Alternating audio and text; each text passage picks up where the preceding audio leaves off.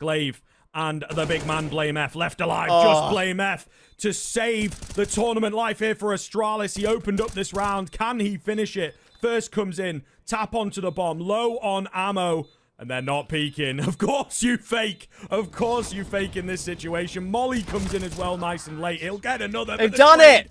Comes through and Fours will stay alive. Astralis will be knocked out in the most unlikely of situations.